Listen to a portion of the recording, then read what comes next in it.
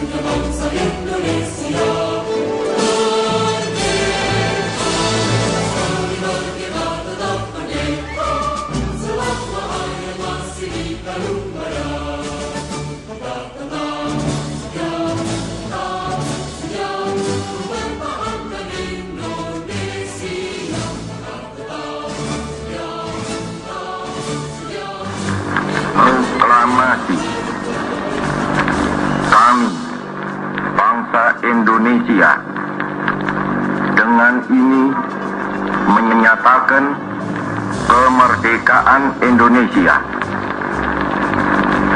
Hal-hal yang mengenai pemindahan kekuasaan dan lain-lain diselenggarakan dengan cara saksama dan dalam tempo yang sesingkat-singkatnya.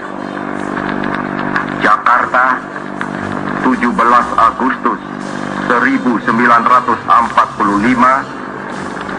atas nama bangsa Indonesia Soekarno Hatta.